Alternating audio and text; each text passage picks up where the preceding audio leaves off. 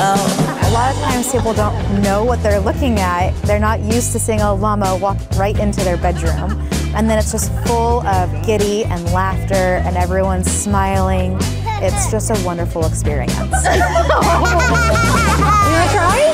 It feels good. I have no teeth. That's okay. You just hold it in your lips like a straw. Try it.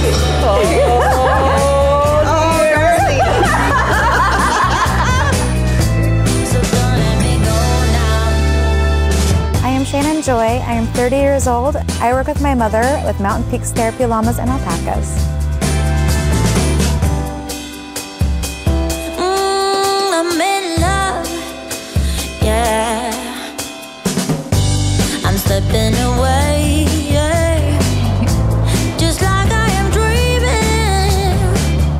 Started with Mountain Peaks Therapy Llamas and Alpacas 11 years ago. At that time, I was just a youth graduating high school, and my mom was a stay at home mom. And we had this really wonderful llama, and we just wanted to share him with our community.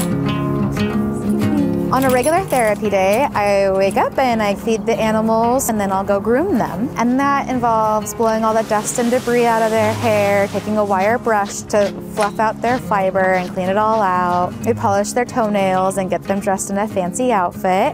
And then we'll go to a variety of locations. Sometimes it's a nursing home, sometimes it's a rehab facility, sometimes it's a special needs school or a college to de stress students for finals.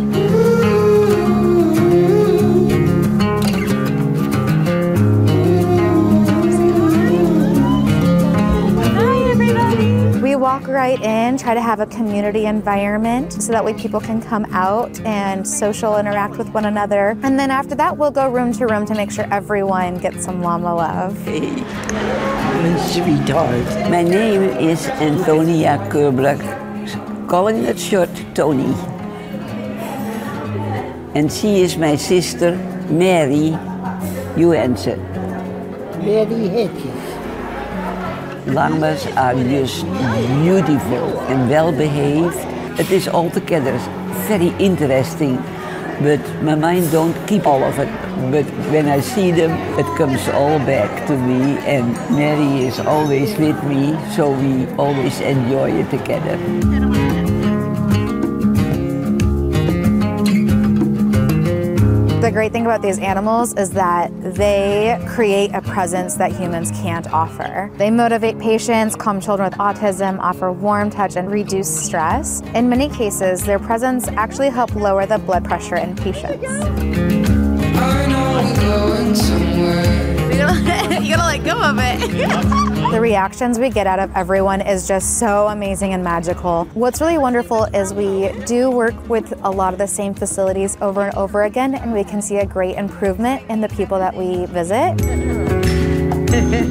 I love you guys. Goal moving forward is to offer our whole farm as a place for therapy, and people can have positive and wonderful interactions with these gentle giants.